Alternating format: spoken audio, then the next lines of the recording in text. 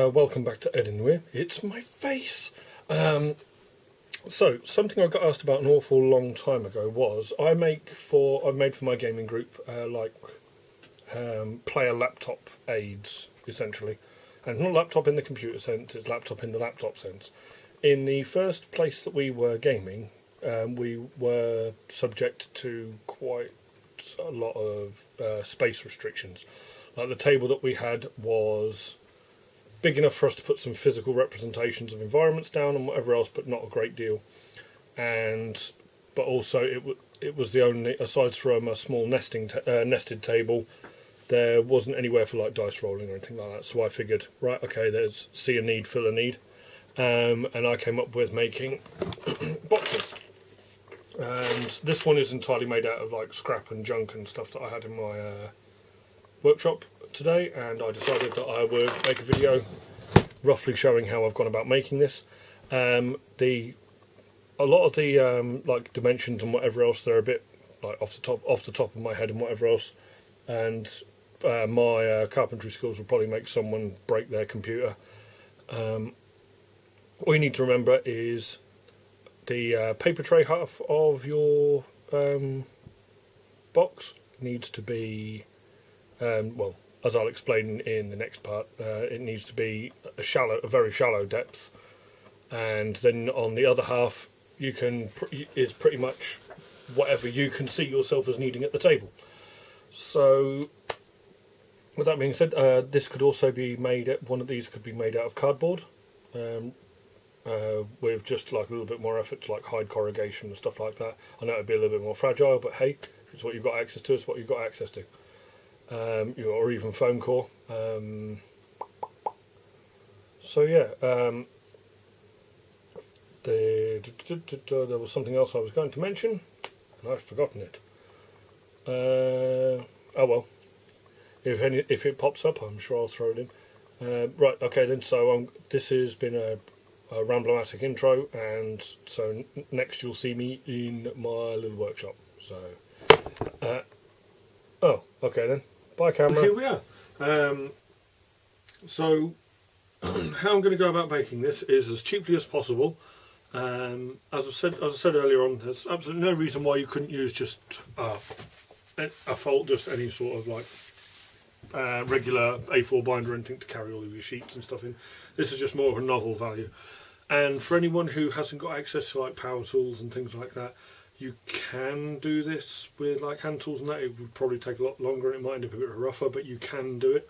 Um, also, if you really wanted to, you can because one of, one that a friend of mine made um, was made out using cardboard, and all he did was face it with some um, cardstock to cover up the corrugation and whatever else, and he made it look like a tome. Uh, if I can find a picture of that, I will tag it onto the end of this video. If not, there's the idea for you.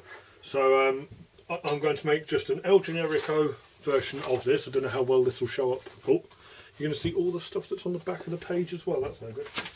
Uh, see if I can correct that. I'm grabbing some more sheets. So yeah, uh, I've done a doodle. It's not going to show up too clearly on camera. This is the way that I'm going to be doing the corner joints. With um, the crossbar is different. It doesn't matter so much. Then the hin- I'm even going to be making the hinges myself, and I'll be showing you how I've done those. Um, and regarding a locking mechanism, because I'm not actually buying anything to make this, for ones that I've made for other people in the past, I have bought a hasp and staple and some form of padlock, or I've even bought like luggage clips and just fitted those to it. But for this, I'm not buying anything for it. I'm just using what I've got, and what I'm going to be making the main two boards out of are some scrap pieces of. I think this might be. Uh, Actually, let's do away with guesstimation. This might be, this will, this is 8mm plywood. Um, you, I, I've gone down to using uh, 3mm plywood um, in the past doing this. Yes, it ends up a little bit flimsier, but to be honest, it's holding paperwork and dice. It's It doesn't need to break any world records.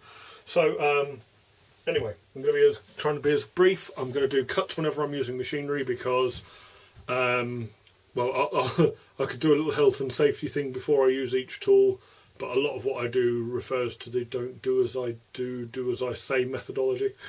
So yeah. Anyway, back to being um, quick about this. So the two main boards are going to want to be, uh, for my purposes, are 320 millimeters. That's the um, upright, or I suppose if it's laying down, the horizontal.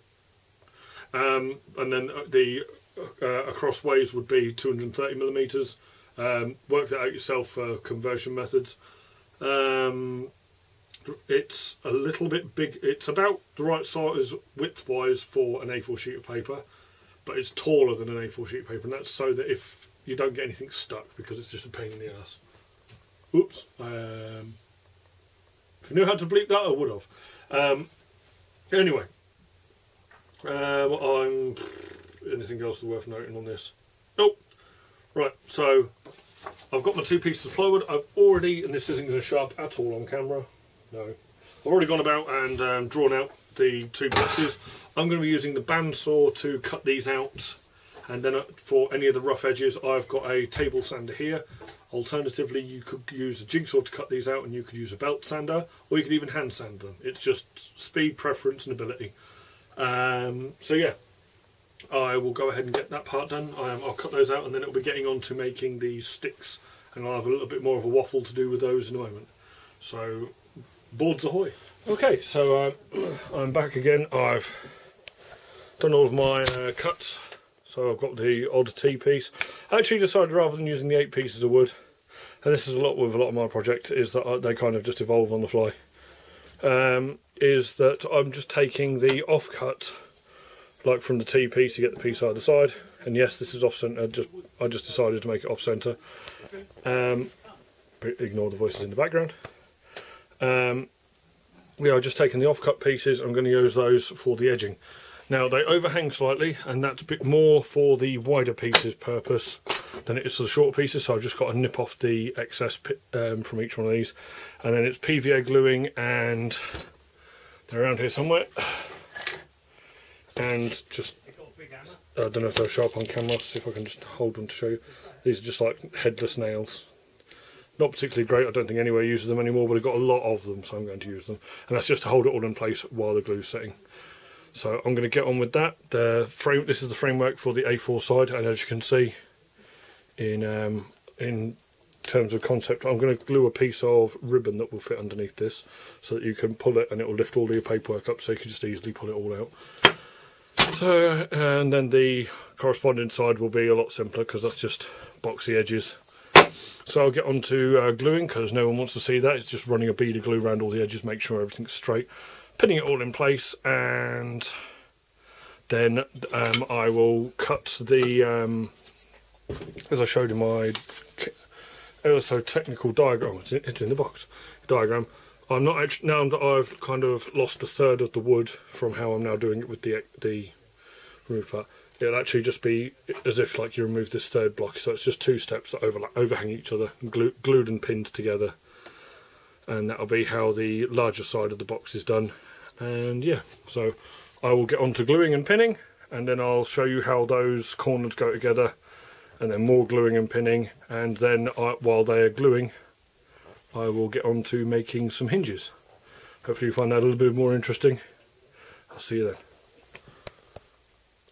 Okay, so um, it's been a few hours. I used um, proper wood glue. I haven't used like watered down PVA glue, like school glue sort of stuff or anything like that. I've used I use three different types of PVA glue. You've got stuff that's used for um, plastering and, and readying surfaces, etc. Then you've got school glue, which is like pre-watered down stuff, and then I use proper wood glue for proper wood glue jobs. Um, now, a little bit of a disclaimer: I'm not a carpenter, and to say I'm any I'm competent at woodwork would probably be an insult to the profession. That's why I've ended up with like slight hiccups. If it will zoom in, yeah, you know, I've ended up with hiccups like that. The thing is still sound um, completely sound like it's not going to fall to bits or anything like that. And you can go in. I gather up uh, fine sawdust, oh, fine sawdust, in just a pot, um, just from the saw and from the sander, and you can go in with some PVA glue and you mix it up and use it like a filler, and that'll just hide any any of it um, pretty well.